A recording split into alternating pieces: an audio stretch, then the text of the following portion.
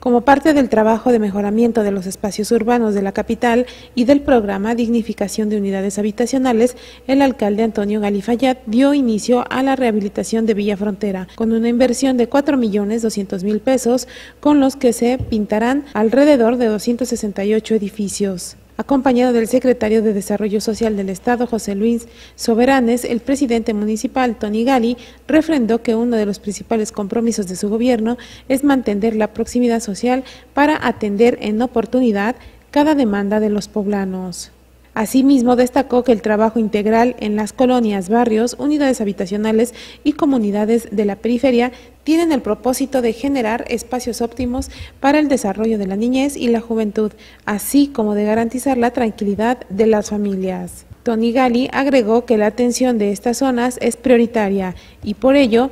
se han ampliado los programas en materia de salud, educación, bienestar social, gracias a la sinergia entre los tres órdenes de gobierno. Con información especial, Puntual TV.